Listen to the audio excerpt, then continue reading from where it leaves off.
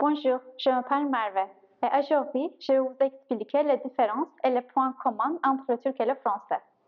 En turc, comme en français, on appelle préposition les mots qui n'ont pas de signification propre lorsqu'ils sont utilisés seuls, mais qui, en formant des groupes avec d'autres mots, créent de nouveaux sons et apportent des nuances de sens aux mots avec lesquels ils sont utilisés dans la phrase. Le truc possède également un grand nombre de prépositions.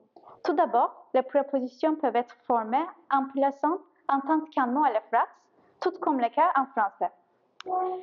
Si je donne un exemple, prenons la phrase suivante.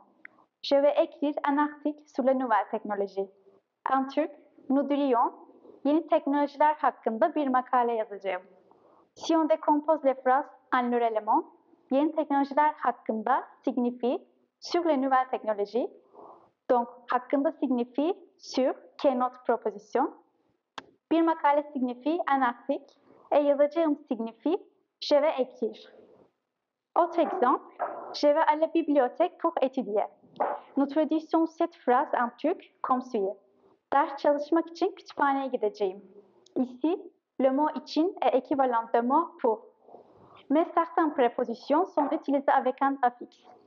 Par exemple, yıllardan beri bu evde yaşamaktalar. Ils vivent dans cette maison depuis de nombreuses années.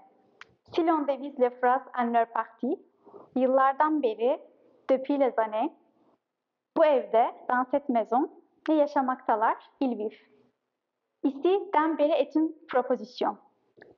Et nous avons ajouté le, le suffixe den à la fin du mot yıllar, c'est-à-dire année, et le mot beri représentant depuis. Donc, depuis de, den beri est notre proposition. Je donne cet exemple pour montrer qu'il existe des prépositions utilisées avec un suffixe.